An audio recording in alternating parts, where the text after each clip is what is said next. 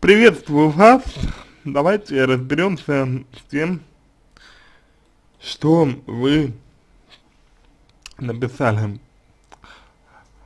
А, здравствуйте, пишите вы, я парень, мне 20 лет, я учусь, и мне очень сложно участвовать в групповых разговорах с учителем, отвечать, высказывать свою точку зрения, особенно если, особенно в начале, когда я еще не очень а, хорошо знаю все группы, у меня просто охват, э, страх охватывает, а, так, ну, тут, у вас идет э, сплошняком текст, так, практически, вот, давайте по порядку. Значит, а, я учусь, мне очень сложно участвовать в групповых разговорах. Значит, первое, на что необходимо а, вам обратить внимание, это то, для чего вы учите, учитесь, что, зачем вы учитесь.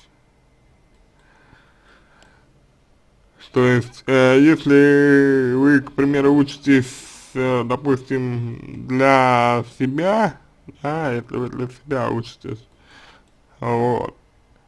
Но это одно. Если вы учитесь для себя, если вы учитесь, чтобы самому, ну, если вам нравится то дело, которое вы учите, которому вы учите, это хорошо, в таком случае а, все должно быть подчинено а, данному порядку, что я учусь, для дела, да, я учусь, потому что мне это нравится, и э, все, что я делаю, это, соответственно, для достижения моего дела, все, что я делаю, это все для достижения моих целей. Дальше, э, значит, э, очень тяжело участвовать э, э, в групповых разговорах. Э, вот момент, да, очень тяжело участвовать в групповых разговорах а, момент, почему тяжело участвовать. То есть, э, если опять же мы берем за аксиому тот, тот факт, что вы, э, например, занимаетесь действительно своим делом, да, если мы берем тот, тот, этот факт за аксиому, то откуда и как у вас появляется сложность при участии в групповых разговорах, ведь вы понимаете, что вам это нужно условно, условно говоря, там, для, ну, для дела, вот, да, условно говоря. Но получается, что не совсем для дела. Получается, что вы пытаетесь помимо дела, помимо дела, который, которому вы обучаетесь, вы пытаетесь какую-то еще реализовать потребность. И именно из-за этого, именно, именно из-за этого, вам сложно. То есть здесь вот эм, в соседней э, теме мой коллега Борис Никифоров э, очень э, хорошо ответил на вопрос, э, написав, что есть, так сказать, э, шкала мотивации. Вот. То есть э, вы слишком замотивированы э, на то, чтобы ну, ответить так, как вы хотите. слишком много мотивации, слишком большая мотивация. И именно эта большая мотивация, чрезмерная мотивация, она вас и э, сбивает с толку, не позволяет вам реализовывать мотивацию, нужно снижать. Как? За счет расщепления своих желаний. Дальше. Э, с учителем отвечать, высказывать свою точку зрения, э, опять же, да, если вы делаете это всего ради своей цели, цели овладеть профессией, то, как вы понимаете, никаких абсолютно проблем у вас не возникло бы, ну, потому что объективно вы занимаетесь как бы делом, и тут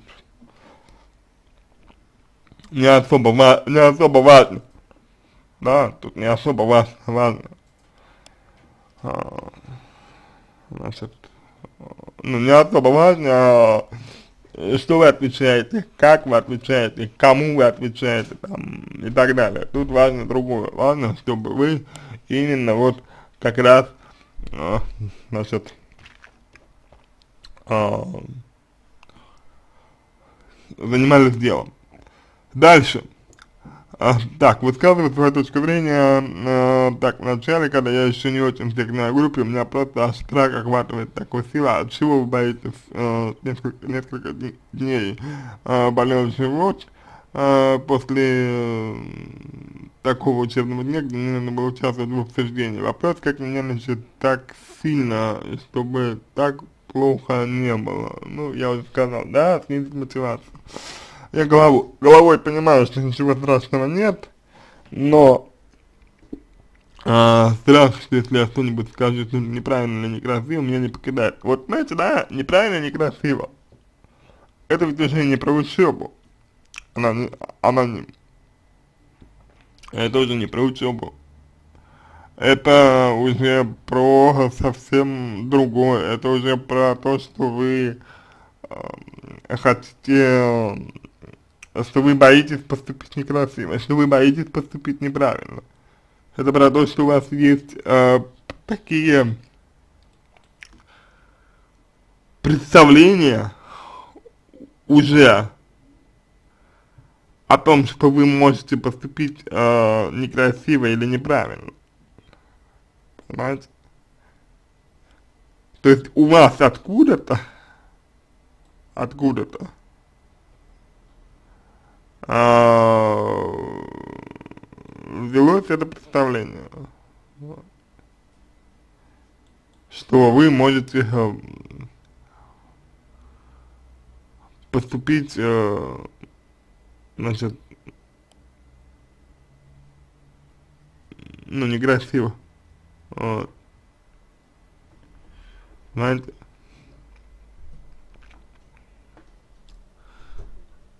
Такая вот, такая вот история на самом деле.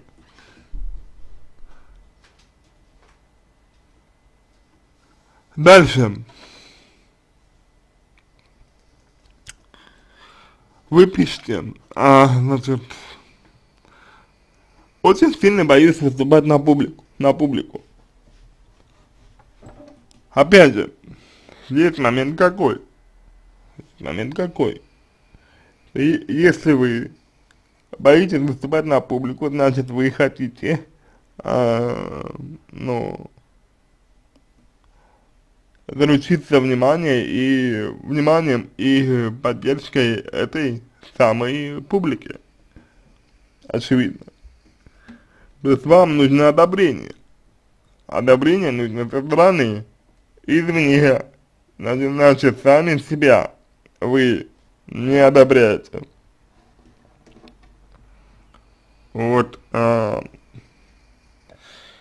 последний момент нужно работать, что вы сами себя не одобряете, сам, сами себя не принимаете, вот,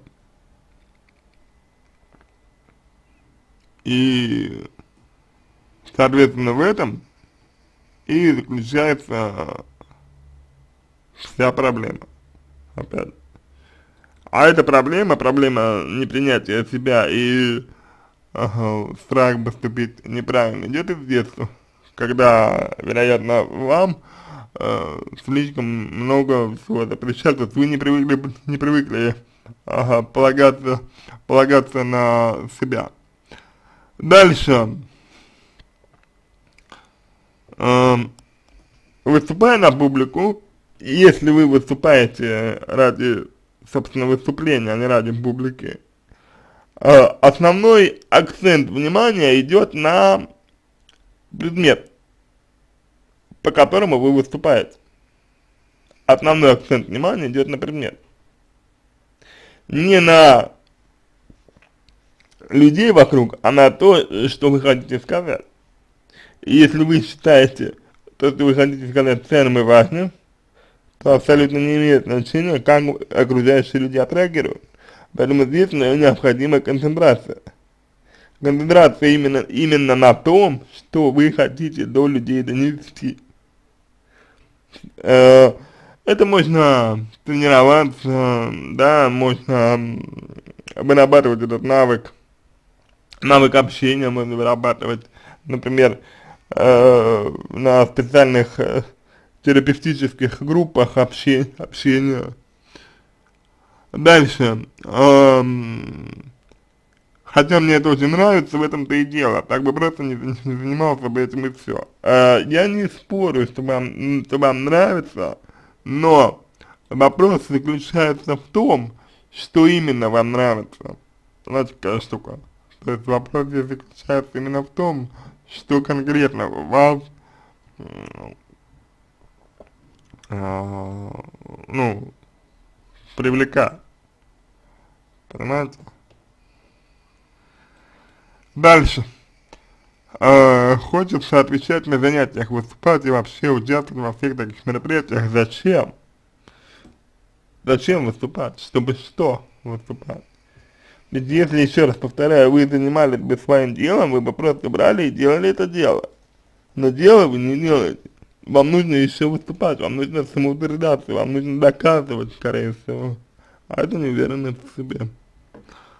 Дальше, иногда, иногда я, я просто не могу себя заставить открыть рот, он как слипся, про себя не представляю, что могу сказать, что, э, что могу сказать, когда все обсуждают что или спорят. Боюсь, что если учитель не услышит меня, или остальные участники разговора, я как дурак э, буду сидеть и говорить с тобой, меня никто не услышит. Но это опять же про ваши, вот, э, про ваши чувства э, собственной значимости и неуверенность в себе. То есть, знаете, вы делаете для других. То есть вы говорите, вот учитель не услышит меня, а другие не услышат. То есть это вот именно ориентир идет на других, не на себя, опять же. Понимаете, какая штука. А, вот, в принципе, такая история. А, индивидуальная, индивидуальная работа здесь вам нужна, потому что в, рам в рамках одного ответа вам не помочь. У вас э, складывалось э, не один год такое поведение. И, в общем-то, если вы живете со своей семьей, то такое поведение, оно поддерживается. Если не живете со своей семьей немножко прочно, все равно вам нужно выходить из этого вашего, из этого вашего состояния жертвы и начинать, э, как бы вести себя так, что вы равны, что вы равны другим, пока вы себя недооцениваете. Вот. То, что вы головой понимаете, это не так эм, важно, потому что у вас куча требований к себе, причем требования абсолютно иррациональные, то есть они не соответствуют реальному миру, не соответствуют действительности. Вот, и таким образом от, собственно, требований вам нужно отклониться, отдалиться немного, потому что они, ну, объективно, они, они мешают требования вам. А, вот, а, и, соответственно, значит, уже вот, а, уже, когда вы освободите свой ресурс, условно говоря, когда вы освободите свой ресурс, а, тогда вам будет проще. Сейчас у вас просто нет ресурсов для того, чтобы выступать как-то ну, по-другому, как-то по-другому у вас нет просто ресурсов на это, к сожалению. Вот. А, вот, в принципе, в принципе, э, так я мог бы вам ответить э, на ваш вопрос, который вы задаете. А, надеюсь, что помог вам, а, если у вас остались а, дополнительные вопросы, пишите в личку, буду рад помочь, если вам понравился мой ответ, буду благодарен, если сделаете его лучшим. Я понимаю, что того, что я сказал, мало, все проблемы не решит, э, вот, но на данный момент э, вам можно ответить только так. На данный момент можно ответить только так. То есть э, рекомендация пока одна, отделить э, свои желания. Вот. Просто отделить одно желание от другого, чтобы не было такого, что вы говорите, я хочу участвовать, например, э, в групповых там обсуждениях, да, но при этом вы боитесь этих, этих самых эм, обсуждений. Вот. То есть нужно просто разграничить ваши потребности, разделить их, разделить их, разделить, разделить свои потребности. И я полагаю, что тогда ситуация будет гораздо лучше у вас. Вот. И что касается вот э, публичного выступления, то перед зеркалом а, потренируйтесь, то есть, э, ну, носите, например, свой доклад, да, и представляйте себе количество людей, большое количество людей, вот, э, сначала определите, какого количества людей вы начинаете бояться, да, один человек нормально, два человека нормально, и вот когда появляется страх конкретно, вот. Ну и в целом нужно больше уверенности в том, что вы делаете. Над этим уже нужно работать. Как со страхами тоже, потому что за э, страхами скрывается, скрывается объективно потребности, объективно да, так, скрываются э, детские, детские переживания и впечатления, вот, и установки неверные родитель, родительские, которые, ну, гласят, например, что, что самое важное это вот оценка других людей. Вот. Я желаю вам удачи, э, всего доброго.